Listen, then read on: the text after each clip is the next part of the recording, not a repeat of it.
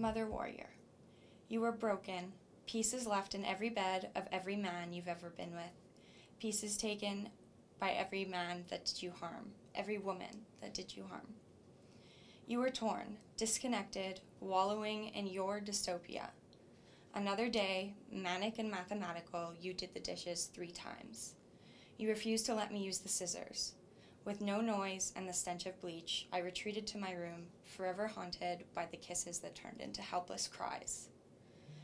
You boil my blood, consistently inconsistent. Today, am I your ghost or your muse? But I forgive you, every time. For you bathed me in your tears and you fed me with your milk.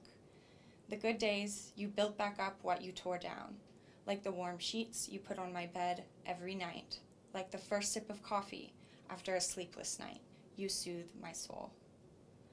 With your withered muscles and your washed out face, you still had the strength to finally look in the mirror, put your glasses on. Look what you missed. Like a cedar tree, our growth was slow, however, our roots are deep, strong. Hopelessly misguided, at least we hold hands, my mother,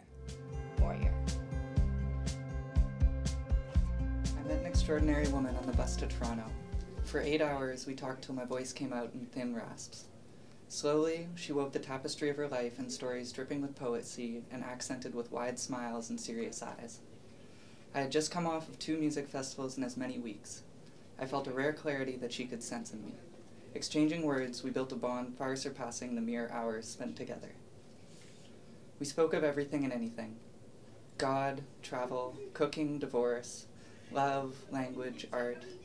We spoke of darker things too. At 14, she escaped a terrible fate. She was a survivor in the strongest sense of the word. Where others saw dirt, she saw clay, and shaped it into a cup and drank deep. She has a son. She opened a restaurant in Toronto where she teaches Ethiopian cooking. Before I knew it, we were in Ottawa. She showed me photos of her paintings, beautiful floor to ceiling canvases that exude strength and vulnerability. The emotional guards meant for strangers on the bus have been stripped away. We laughed together. I held back tears because her eyes were dry.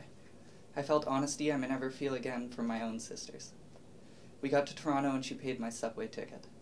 We hugged and said goodbye. We promised to connect on Facebook, but I couldn't do it. I knew summer would fade away, and I wouldn't be the same person. I couldn't bear to let that amazing once in a lifetime conversation turn into the mundane once a year HBD on the wall. I still have her info, and one day, when I am someone I can be proud of, I will find her. Her, in the three letters word, carries the power and actions of a woman.